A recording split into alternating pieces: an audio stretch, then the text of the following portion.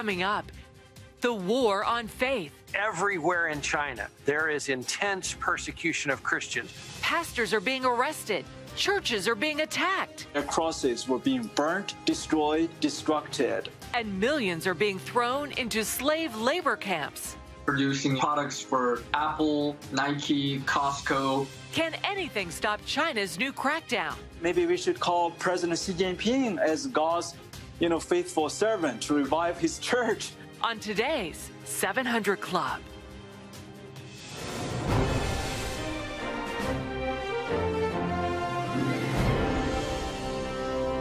Welcome to the 700 Club. Iran and the United States are locked in a face off over an Iranian nuclear deal, and Israel is caught in the middle. How did Iran raise the stakes over the weekend? And how could this deadly stalemate reverberate throughout the Middle East? Chris Mitchell has an exclusive at Israel's northern border. Sunday, the head of the UN nuclear watchdog announced Iran will provide less access to its atomic program. The move is a response to U.S. refusal to lift sanctions, which Iran is demanding as a condition to return to the negotiating table. Some warn if negotiations lead to sanctions relief, it would begin a financial chain reaction in the region. If more money would go to the IRGC, to the Iranian Revolutionary Guard, it would mean more money for Hezbollah in Lebanon, more money for Hezbollah in Syria, or the uh, other uh, proxies of Iran in Syria, in Yemen, in Iraq, and more instability in general to the Middle East. You're already seeing Iran show tremendous aggression. It is increasing rapidly its enrichment of uh, uranium now to high level enrichments that, you know, very, very close to bomb making capacity. Middle East observer Joel Rosenberg fears negotiations could force Israel to strike first. That with Biden trying to get back into the nuclear deal, Israel might decide it has to take preemptive military action against Iran's nuclear facilities. And then what would be Iran's counterpunch? Almost certainly it would be by ordering the Hezbollah military to fire its 150,000 or so missiles and rockets here at Israel, which would be devastating. A war of words has already begun on Israel's northern border. Israel's defense minister Benny Gantz declared Lebanon's ground would tremble if Hezbollah attacked, while Hezbollah chief Hassan Nasrallah boasted his military can hit anywhere in Israel and that Israel would not see anything like it since the founding of the state. Just days ago, Israel's Air Force launched an exercise that simulated 3,000 strikes on Hezbollah targets within 24 hours. That's a great capability, and it's a message to Hezbollah we know where you are and we will get you. Israel's military predicted in 2021 that Hezbollah does not want to enter into a full scale war. But in 2006, the second Lebanon war began with a small ambush so they know anything could happen here on the Israeli Lebanese border. Here in the north, every small match can uh, fuel a huge explosion. Chris Mitchell, CBN News, on the Israeli Lebanese border. Thanks, Chris. I've been looking for Ezekiel 38 to come to pass, and it's getting, it's heating up. You see, here's the fundamental belief in those um, uh, Iranian people the 12th Imam will come. And when he comes, the world will be in chaos. And he will put an end to the chaos. Then he will be acknowledged as the supreme uh, representative of God. And even Jesus is supposed to, under their thinking, will acknowledge him, the 12th Imam. Now, that's the, the, the, the thinking. But before he comes, there will be utter uh, devastation. so they would not mind incinerating all of Israel. They wouldn't mind having uh, 50 million uh, casualties if that would bring about the coming of the 12th Imam. I mean, it's crazy, but that's what they believe. So Israel has an absolute right because if the Iranians get the bomb, they have said clearly they will use it against Israel. So, ladies and gentlemen, keep your eyes open, your, your ears tuned for what might happen. But what might very well happen is a war over in that area, and it's going to take the Lord Himself to put an end to it. Well, in other news, 500,000. That's the deadly toll of coronavirus deaths the U.S. expected to reach today. And despite this tragic number, what hope is on the horizon? John Jessup reports. Pat, the United States hits that 500,000 lives lost mile marker before the end of the day. That's nearly the population of the city of Atlanta. President Joe Biden holds a White House ceremony remembering the loss this evening. Despite that tragic number, though, there is some encouraging news. New cases dropping by 73 percent. Hospitalizations also down more than 50 percent, and deaths also falling. Efforts are ramping up after the winter storms delayed 6 million vaccines. Still, there are more concerns over the South African variant, which may be more resistant. If, in fact, this becomes more dominant, we may have to get a, version of the vaccine that is directed specifically against the South African isolate. Dr. Fauci also predicted Americans might need to keep wearing masks until 2022. Well, down in Texas, it's starting to warm up after last week's deadly winter weather. Although the storm might be over, serious problems remain. Dale Hurd explains. Texas may have thawed out, but millions of residents are dealing with a serious water shortage, and some are seeing sky high electric bills.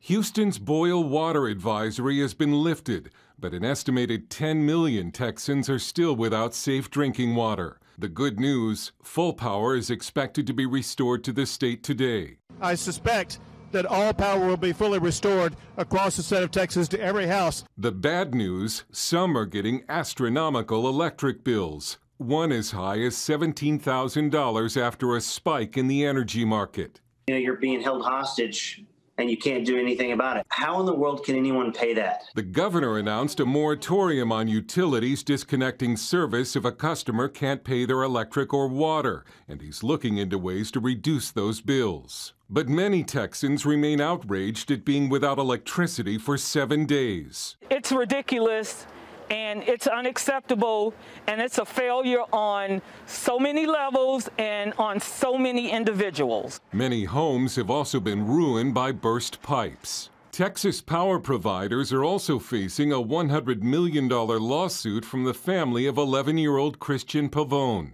They claim their son died of hypothermia after they lost electricity in their mobile home. And across the South, residents in many hospitals are facing a water shortage. And as you see, no running water at all. The White House has issued a disaster declaration for 77 Texas counties.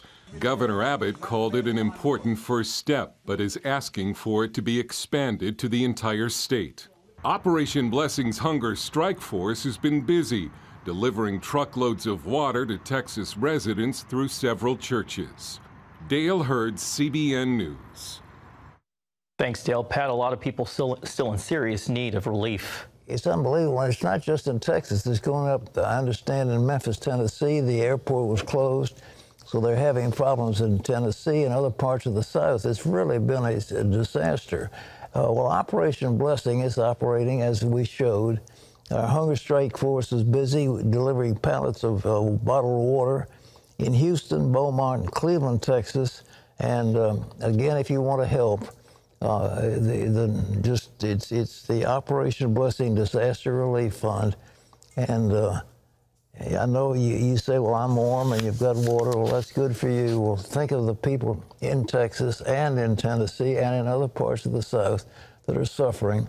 So if you want to help, just call in and say you can count on me. Well, there's more controversy coming out of Washington it just seemed there's a radical group taking charge, and, and we were seized by what looks like some kind of a uh, pathos that is intent on destroying this nation. Let's see what John has about that one. Well, Pat, Congress is considering a controversial bill this week designed to overhaul the nation's civil rights laws to include LGBTQ Americans. Opponents of what's called the Equality Act argue that it tramples on the rights of women and people of faith. CBN's Jennifer Wishon reports. Under the Equality Act, disagreement is discrimination. It includes gay marriage, men competing in women's sports, and doctors performing procedures like gender reassignments that go against their conscience. It's a bill the president wants to sign into law during his first 100 days. The Equality Act provides long overdue federal civil rights protections for LGBTQ plus Americans, preventing discrimination in our housing, education, public services, and lending systems, the president tweeted. But the bill does much more. We can see that it would immediately be um, stripping religious Americans and stripping girls and women of our equal rights. By redefining sex discrimination, the measure would provide for abortion on demand, likely end a long-standing prohibition on taxpayer-funded abortions, and remove conscience protections for doctors and nurses.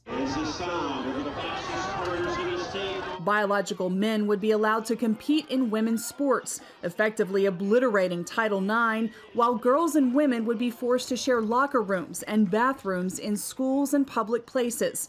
Harley says we don't have to guess about the results. Just look at cities and states that have already passed similar laws. In Alaska, the city of Anchorage had a law like this and punished a faith based homeless shelter for battered women and actually forced them to allow biological men who identified as women to sleep and change clothes alongside these women, um, most of whom were victims of rape and sex trafficking.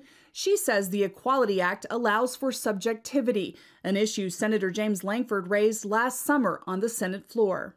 If I go to interview in a job and I'm not hired, I can sue that employer because I perceive they were thinking I was gay, and so they didn't hire me. I don't have to prove anything. It's based simply on my perception or belief. Under the bill, Christian beliefs are unlawful. Churches could be prevented from requiring employees to abide by their biblical beliefs about marriage and differences between men and women. Alliance Defending Freedom is litigating a case in Virginia, a state that recently passed a law like the Equality Act. Churches are banned from having a dress code having a code of conduct for their employees, even asking in interviews if potential employees share core religious beliefs. Harley and others opposed to the legislation say tolerance must be a two way street. I think the Equality Act p- treats people of faith as second class citizens. It, you know, it specifies a certain point of view and it labels it as bigotry. Speaker Pelosi wants a vote in the House this week where it's expected to pass overwhelmingly. It will need 60 votes in the evenly divided Senate. At least one Democrat opposes it, and it's unclear how many Republicans might support it. Jennifer Wishon, CBN News. Some important religious freedom concerns. Pat, back to you. Ladies and gentlemen, it's like there's a massive fight against you and uh, as I have said many times before, the devil always overreaches. This is an overreach that the people don't want. And I think the, idea that, uh, for example, a homeless shelter is going to be sued if it doesn't allow for men and women to share the same facilities, and women who've been raped or in the presence of rapists and, and child molesters and so forth. This is horrible and having men compete in women's sports, horrible. I mean, biological men are just stronger than biological women. It's just the way it is. Their muscles are made that way. And to have them compete, it would put the end to women's sports. But that's what they're trying to get at. So what's the big deal? I mean, the uh, LGBTQ sort of thing. Now we're going to have to pay for sex changes. And that's going to be something that will be in health care. And doctors who don't want to perform it uh, will, can be sued and put in jail. I mean, this kind of stuff, we've got to stop. And people have got to stand up and say, we can't take this anymore. If you don't stand up, then those rights are going to be taken away from you. If we do stand up, the devil will shrink away. Resist the devil, the Bible says, and he will flee from you. You've got to resist them, and that means you've got to vote, and you've got to insist on your rights to your congressman, congresswoman, whoever's in, in positions of authority. Let them know your feeling. Don't just sit by idly and let this stuff go through. Terry? Well, coming up, churches burned and desecrated, pastors detained and imprisoned, and genocide against ethnic Muslims. What's behind this major crackdown in China? And why is it being reviled as the quote, stain of the century? Then later on, meet a world champion bullfighter. Why is this cowboy laser focused on the bull's eyes? And how did he earn the nickname Fearless Frank? You'll see for yourself. That's coming up.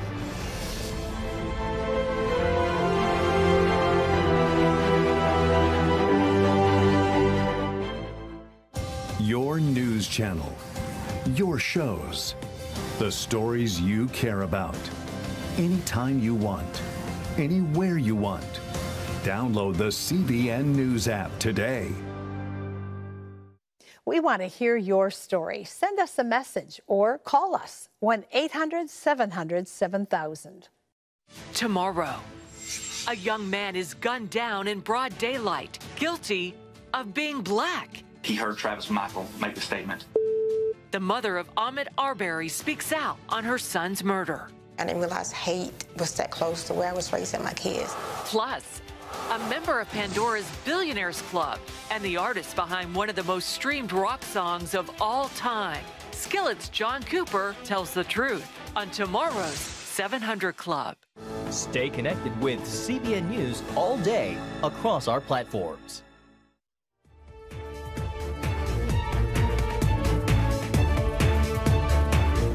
Uh, in our thrust to make peace with China, we cannot allow some of the things that they're doing to be swept under the rug. We cannot allow it.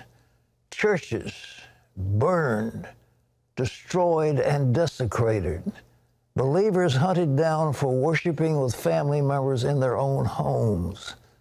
Catholics kicked out of their houses for refusing to remove religious icons. The current government of China's extreme crackdown on Christians and genocide against ethnic Muslims has been called, quote, the stain of the century. Gary Lane brings us this alarming report. February 1st, 2021. Public security police storm onto the property of a government sanctioned church in China's Wenzhou city. Their mission? Toppling a cross from the roof of a church building for a second time. They'd removed the cross seven years earlier, but church members replaced it. Bob Fu is with China Aid, a group that helps China's persecuted Christians. That city alone, we have documented over 1,600 churches with their crosses were being burnt, destroyed, and destructed. And um, many pastors, you know, were even detained, imprisoned. China's Christians say it's the worst persecution against them since Chairman Mao Zedong. To use Ambassador uh, uh, uh, Sam Brownback's word, uh, it's a war against the faith. I think it's a war against the independent faith. And it's no longer limited to certain regions of China. VOM's Todd Nettleton says this massive wave of Christian persecution is widespread, and it's coming from the national government.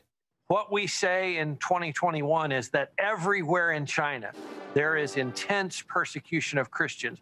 There is intense uh, efforts to control the church, to bring the church under Communist Party control. The crackdown is affecting every Christian in China, says Nettleton Protestants, Catholics, government registered churches, and unregistered house churches. And the Chinese Communist Party has a new excuse for targeting Christians. Now, under this pretext of uh, COVID 19 coronavirus, um, the Chinese Communist Party has intensified its persecution by banning all the church activities, even those services or worship uh, or prayer meetings in believers' own homes uh, with their own family members. July 22, 2020, a loud knock on the door at the home of a woman in China's Yamen city. She tells the police outside they cannot enter her home without a permit. Moments later, they destroy the lock and enter anyway, breaking up what the government says is an illegal meeting. Fu says it's all part of President Xi Jinping's campaign of sinicization, which means Christians are only considered to be good citizens if they adhere to communist ideology. Ironically, Xi Jinping's portrait was even put on the church pulpit along with the Chairman Mao. And uh, the first line uh, item of worship, um, uh, you know, uh, by the government-sanctioned church before COVID-19 uh, was to sing the Communist Party's national anthem. And examples go beyond churches. In Fuzhou City, a Catholic family was forced out of their government subsidized housing after they refused to remove religious icons from their home. And China's Religious Affairs Bureau has banned religious funeral ceremonies and preaching in funeral places. Meanwhile, Christians aren't the only ones suffering. Ethnic Uyghurs from East Turkestan, a region the communist government calls Xinjiang province, are under attack. China is home to one of the worst human rights crises of our time. It is truly the stain of the century. One day before he left his post as U.S. Secretary of State, Mike Pompeo officially announced that China is committing genocide against the Uyghurs and Turkic people. New Secretary of State Antony Blinken supports the genocide designation. For years, the Chinese government has forced Uyghur women to undergo abortions and forced sterilizations. Twitter recently locked the account of the Chinese embassy in Washington for tweeting that Uyghur women had been emancipated from being, quote, baby making machines. The U.S. Defense Department says as many as 3 million Uyghurs are being forcibly detained in re education and forced labor camps. The president of East Turkestan's government in exile told me on the global lane that China is using the camps as a place to brainwash the Uyghurs and harvest their organs for profit. And he says detainees are being used as slave labor. Millions are still, um, you know, working in slave labor factories, producing, you know, products for uh, companies like Apple, Nike, Costco, and uh, dozens of others. And Uyghurs are reportedly being used to manufacture solar panels for export to the U.S. and elsewhere. The Chinese government calls it a poverty reduction effort.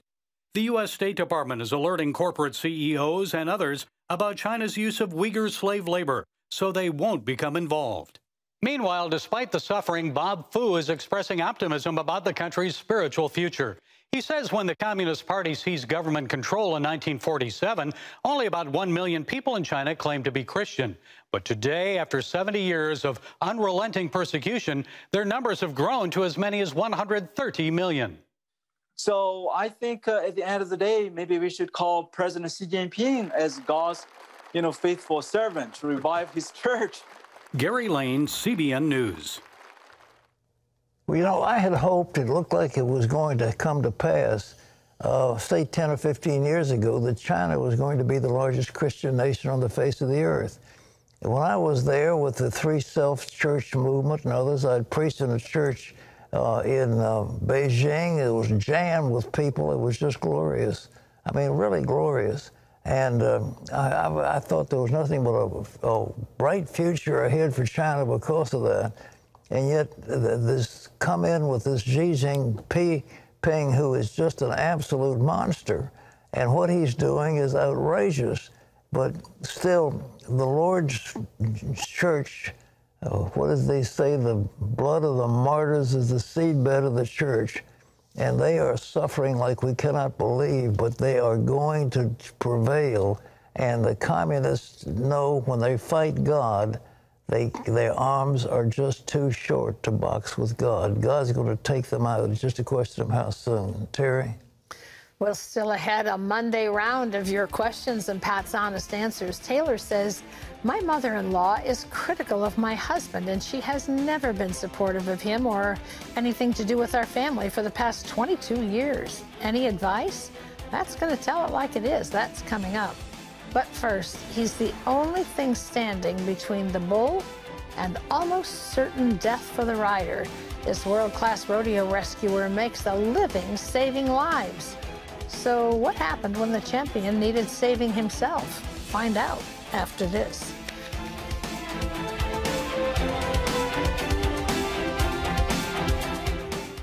Do you have questions about God? Call us. It's toll free 1 800 700 7000 or check out this link.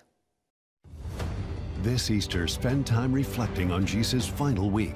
In CBN's free devotional, The Hope for Redemption, you'll follow his path to Jerusalem, observe his last Passover meal, gain insight to his agony at Gethsemane, witness his crucifixion, and encounter the empty tomb. This Easter, realize afresh that he is risen. Get your free copy today. Call 1-800-700-7000 or go to cbn.com slash Easter Devotional. I don't know about you, but I'm always looking for something special at major spiritual holidays that will help me really prepare my heart and my mind, kind of get away from the chaos of day to day. And we have something to help you do that for Easter. You can spend time reflecting on Jesus' final week with this free devotional. The Hope for Redemption illuminates Jesus' path to Jerusalem, his last Passover meal, his agony at Gethsemane, his crucifixion and his resurrection. If you'd like to get your free copy of this Easter devotional, all you have to do is call 1 800 700 7000 or you can visit cbn.com slash Easter devotional and we will gladly send you one. I think it will enhance your Easter this year. Pat? Okay. Well, switching from Easter to bullfighting, going head to head with a raging bull and cheating death time and time again. That's how Frank Newsom earned the name Fearless Frank. Frank is a champion bullfighter, rescuing rodeo riders when they're thrown off the bulls. So, what happened when Frank needed to be rescued himself? Take a look. It's the life of a rodeo bullfighter, but lived on Frank Newsom's terms. I don't have to worry if something was to happen to me, whether it was on the way here or while I'm here. Our medical team, they've put me back together so many times over the years. But then decides to roll over Frank Newsom. The tough rescuer nicknamed Fearless Frank has learned to manage his deepest fears. I know the confidence I have in my Savior and my salvation is key to that. Knowing that Jesus, He's got this. You know, He's got me. Between competitions in the arena, Frank reflects on his role. We're a worker, we're a servant, you know, we're a protector. Our job is to keep the guys safe. It's about knowing if you got your job done or not, knowing about your teammates, the guy next to you, if, if everybody's working together. When Ryder is ready, Frank's bullseye is clear. The bull's your main focus point. Where he's going to go, his speed, his momentum. You see their eyes. You see if they're looking around. It's kind of an intensity there that you can feel, you know, anticipating what they're doing. You're taking control or, or looking for that control over the bull, but we're seeing the rider body language of when he's going to come off and where he's going to land. Frank Newsom has to come in and be the blocker to make sure Junio doesn't get run over. I grew up around cattle, working with my dad, working on different ranches. We would buck bulls after we worked, and some of the older guys trying to teach us how to ride bulls. We would take turns saving each other, and man, I just knew that was my spot. Being an overwhelming feeling, you know, that man, I'm going to devote my life to this. This is this is me right here. Frank's career took off quickly, winning both national and world finals in just his second professional season. There was so much more freedom in what we do as rodeoing and bull riding than I was ever used to growing up. I was good at what I did, so I, I, I made money. And with it came distraction. Probably way immature for the success I was getting as far as how to handle that. I know I was. I wanted to be the best, but then bad habits just kept creeping in and getting bigger and bigger and bigger. The rodeo's traveling pace and the bullfighter's pain led to Frank's growing substance abuse and addiction. Once I allowed them drugs into my life, things just got way wilder and you're not sleeping, but you're going to all these bull ridings and rodeos and you're getting your bodies beat up, you're drinking more. I just couldn't see in the moment how my addiction was tearing my life apart. And you're still having success. I got this. I can handle this, you know? Until Frank's private struggle caught up with him. You know, I got pulled over. I was way out of hand, driving way too fast, just just being really reckless, getting thrown in jail, and having to face that and having the consequences come down on me. You know, I needed that. Instead of competing in the Bull Riders 2000 finals, Frank was alone in jail. I owed people money. I owed time, you know, for laws I broke. I had broken relationships. All the things that I grew up knowing that were important, man, I trashed them due to sin, just letting sin control me. Hitting rock bottom, it was Frank's turn to be rescued. So he prayed. And I was just like, this is reality. How did it get like this? The first step of truly wanting Jesus into my life, you know, it wasn't no more about getting out of trouble. Lord, I need you. I need you, Lord. I've, I've made a mess of things. And he knew that, and he was there. After losing his career, Frank rebuilt his reputation. I had to go back to the very bottom and work my way back up in the arena as a bullfighter, but also in life, and gain trust day by day with people. Since 2005, Fearless Frank has restored his place among the bullfighting greats as a well respected competitor and mentor. My motivation is not just about me doing my profession, but it's like, man, if I can save this guy's life, maybe that's one more day that gives him an opportunity to be saved, that he can spend eternity in heaven. He can go home to his wife and kids and, and lead them in a good direction. Trust the Lord right now without having to hit rock bottom. Trust him right now. Let him be your master. Let him be who he is. What a great testimony. Boy, what a profession, by the way. Spend your life. I mean, how re- rescue. I mean, that is one risky deal to have a mad bull coming after you. Yeah, it takes your breath away just Yeah. watching it. Well, anyhow, he, he's he's with the Lord, and I'm very delighted. But that that's something really terrific. All right, we've got some questions. We do. You ready? This is Taylor let's who says, My mother in law is critical of my husband, and she has never been supportive of him or anything to do with our family for the past 22 years. She doesn't even treat our children like her other grandchildren. She and my father in law get hostile and angry with words and actions. I believe in respecting your parents, but when is enough enough? Any advice? Uh, well, the Bible says have nothing to do with an angry man. It sounds like there's a lot of anger in that family. You see, she's your mother-in-law, which means she's your father's, your wife, your husband's mother. yeah. But she doesn't like him either. That's kind of weird. But uh, I, you don't have to be subject to abuse. Uh, you know, the idea is you honor your mother and father, but um, you give weight to their decisions. But you don't have to be under the f- thumb of abuse all the time, and you don't have to expose yourself to it. So you say, "What's my advice?" Well, my advice is, you know, honor them if you want to, but stay away. Have nothing to do with an angry man. He'll just upset you, and why argue with him? It's not going to win anyhow. So just love them and get on with your life. Okay, this is Amy Pat who says, I have prayed for God to take away my withdrawals from meth and to help me. I don't know what to do. Will I go to hell for my addiction to meth? Uh, no, you, don't go to hell because of your addiction to meth. You go to hell because of your sin. And uh, if you're sinning, then what you need to do is to come to the Lord and let Him save you. As far as an addiction, uh, you know, ask Him to help you. But uh, I'm a great believer in that idea of 21 days. If you can say, today I'm not going to take that stuff, then today I'm, I'm not going to take it. Then today I'm not going to take it. Today I'm not going to take it. And for 21 days, before long, your body will have gotten free of some of the problems and you, you will be free from it. But I mean, just it, it's going to take day by day by day. You don't use it, period. All right. This is Greg who says, Since I accepted the Lord a few years ago, tears come to my eyes when I'm watching spiritual movies, when someone is praying with me, and when I'm thinking of helping others in need. Is this the Holy Spirit? I'm a big, strong guy. Actually, the tears that come uh, from loving the Lord, I mean, you may be strong, but you sure aren't as strong as the Lord Jesus, and you're not as strong as the Holy Spirit. And the fact that your heart is still tender toward God is a wonderful thing. So don't fight it. You know, th- there's, there's nothing unmanly about having tears in your eyes. This is Will who says, Hi, Pat. Last summer, I began growing closer to God and reading my Bible. I want to know, despite my past, how long does it take for God to forgive me and accept me? I want to be born again, but I'm not sure how. What should I do?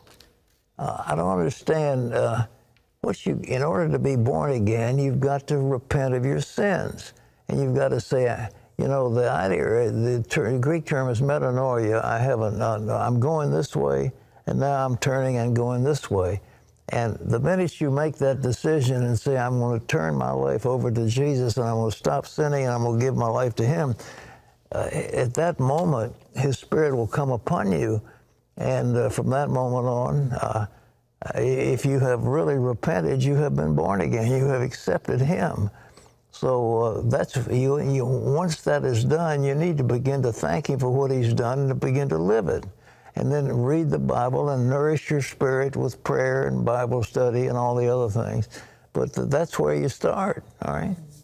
Melissa says, My boyfriend has not asked me to marry him. We currently have two children. I've tried to get him to understand the importance of marriage to me, but he just says he's not ready.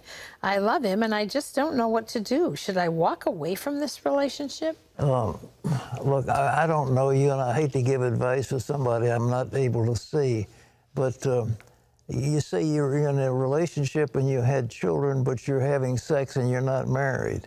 Um, that in itself is something that's wrong. So your boyfriend doesn't want to get married. Well, why not? I mean, does he really, uh, as they say, he, he wants to have the milk without owning the cow? I mean, he, he doesn't want to take responsibility for you. He doesn't want to take responsibility.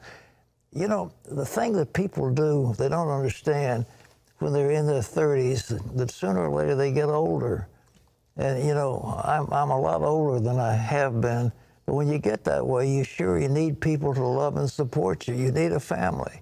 And um, the idea that you have a hookup here, there, and the other place, uh, you know, you need that. And he needs to make a commitment. And if you don't, he won't make a commitment, I think I'd walk away from it.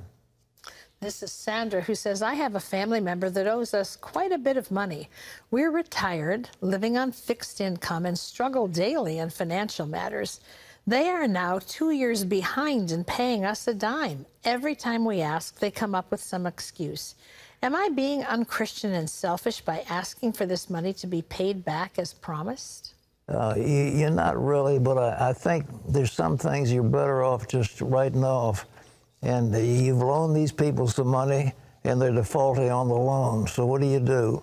well, the Bible says, "Suffer yourselves to be defrauded." Uh, you, have been you've been had, but why keep bringing it up? You know. Mm-hmm. I, I, mean, either you've got to sue them and, and, force them to pay the money, which you don't really want to do. And uh, look, God has the gold and the silver and the cattle on a thousand hills. He can replace that debt 10 times without any strain at all. So why don't you begin to look to Him and say, God, how will you want me to get ahead? And I'm going to begin look for something to do in my life that'll bring back the money I need. I write the thing off and forget it. I mean, really, that's, I mean, why let that thing keep agonizing? You're not going to get it paid off, so just write it off, all right? Yes. Good okay. idea. thank you. All right. thank you. Okay. And thank you. Well, still ahead, a woman is sidelined by agonizing pain. So, why did she refuse to see a doctor? And how did that lead to a supernatural remedy she never saw coming? Find out. That's coming up.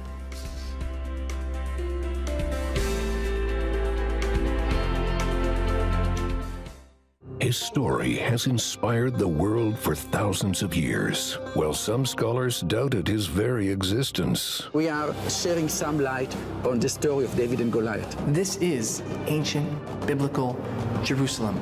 CBN Films presents Written in Stone House of David. Extraordinary discoveries made headlines around the world. Written in Stone House of David.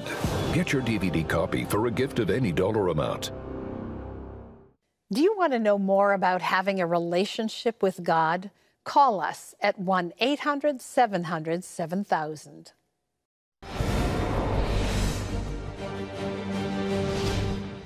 Welcome back to Washington for the CBN News Break. Boeing is recommending grounding some of its 777 aircraft after an engine started coming apart during a flight out of Denver Saturday. The FAA says two fans on the plane's right engine failed shortly after takeoff. Passengers seeing this frightening sight, flames and debris fell midair as eyewitnesses watched in shock and horror. The pilot made an emergency landing, fortunately with no injuries reported. Well, despite the political unrest in Myanmar, CBN is providing Superbook resources for churches through an online Sunday school training program. Due to COVID-19, the Superbook team is providing monthly training, teacher training through Zoom. In January, it focused on enhancing creativity and nurturing children with behavior behavior issues. More than 150 teachers from nine regions took part in the program to encourage and equip them for service in children's ministry. Well, you can find out more about what CBN is doing around the world by going to cbn.com slash international. Pat and Terry will be back right after this.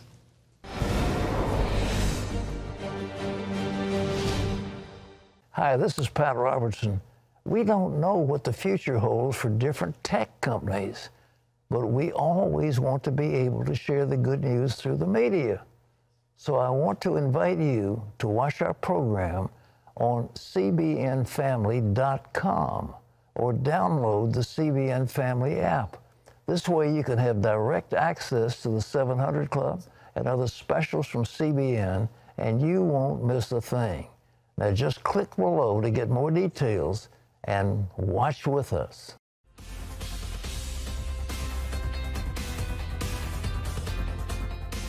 Trapped in the dark with no way out. That's how a single mother in Thailand felt when the COVID pandemic shut down her business and confined her to her home.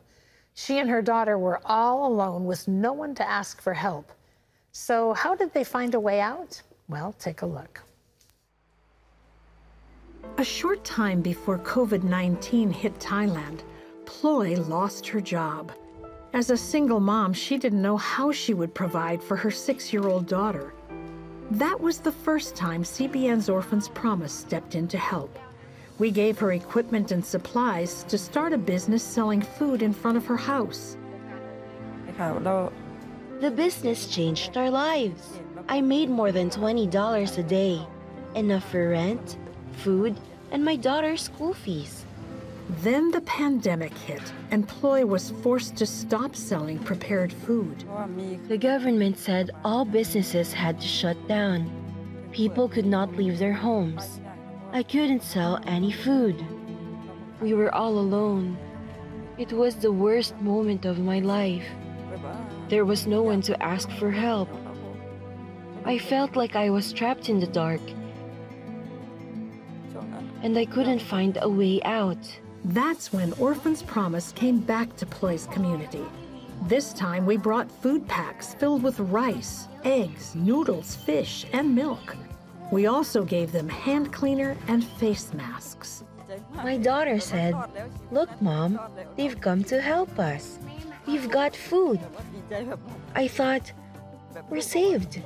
After the government eased the shutdown, we also provided capital for her to buy food and other supplies to restart her business.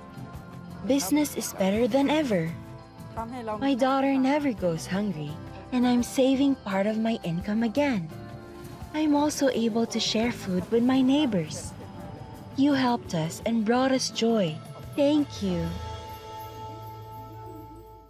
just want to say thank you as well because, you know, in so many countries around the world, when there is some kind of a disaster, when people are in need, there's no system to come to their aid. I mean, it's every man, every woman, every child for themselves. One of the reasons Orphans Promise is doing this kind of work is to keep moms like Ploy or other parents from putting their children in orphanages you know, you made it possible for them to stay together. You made it possible for them to have food. You brought them the gift of hope. And boy, you can't put a price tag on that, can you? That's if you're a 700 Club member that you did all of this. We say thank you to you. If you're not a 700 Club member, I hope you can see the opportunity you have to make a difference in the lives of people who have extreme need.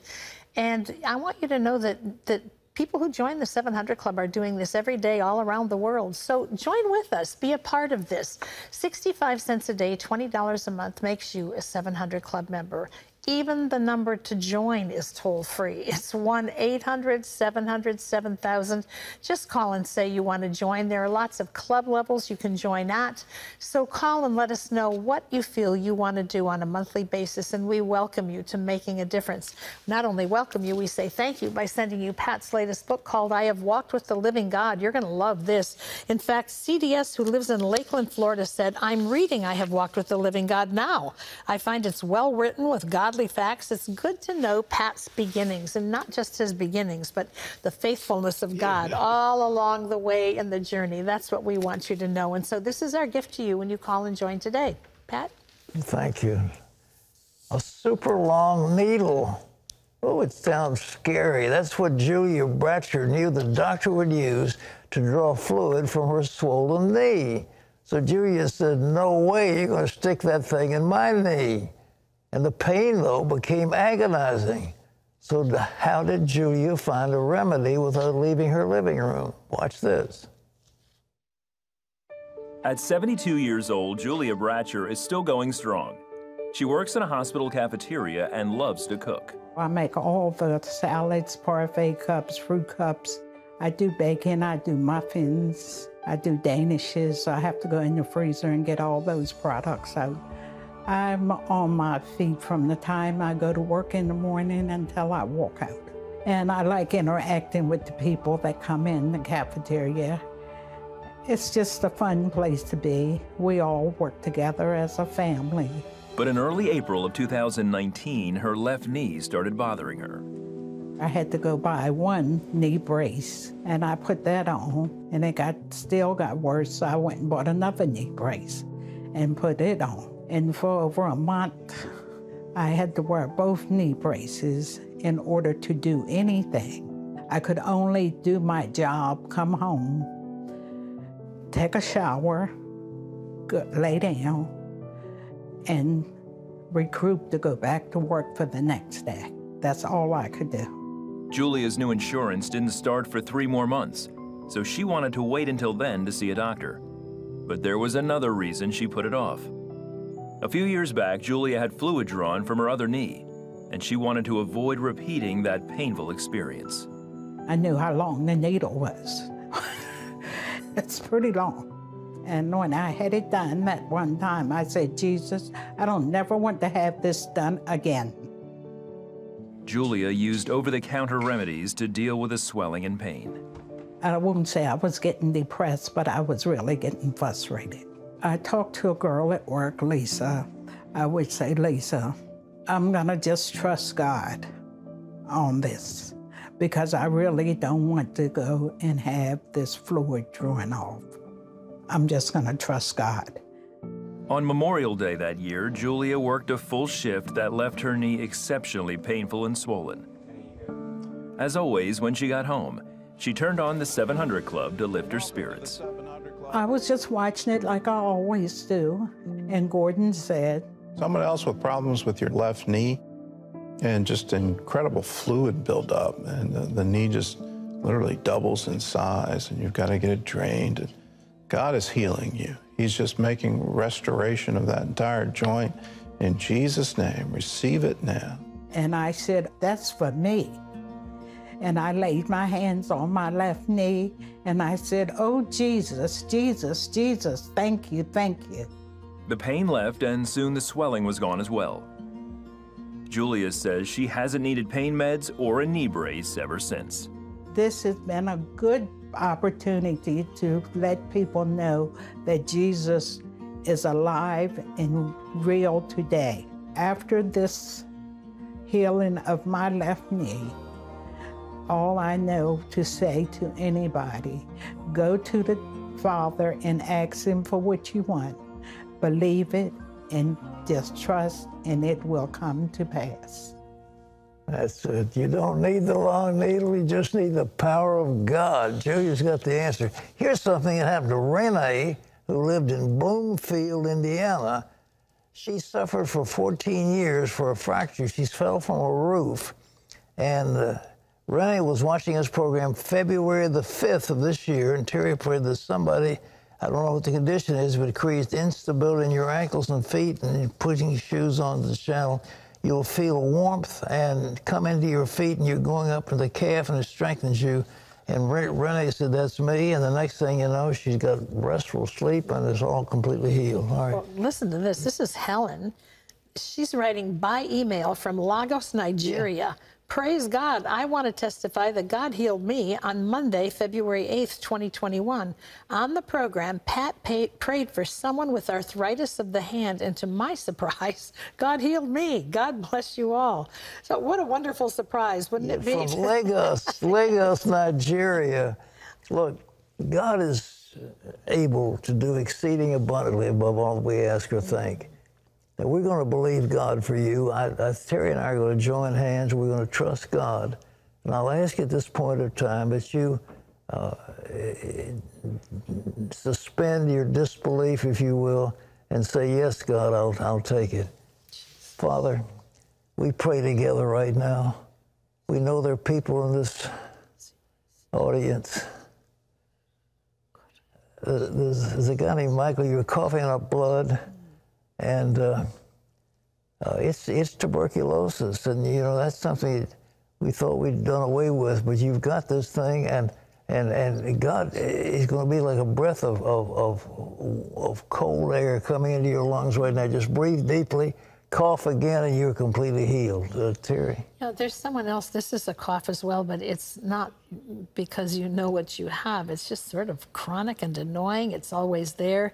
You haven't been to a doctor to see what's causing it. You have an underlying concern, but right now, in the name of Jesus, just receive your healing. That cough is gone, the tickle's gone, the irritation in your throat is gone. Breathe freely.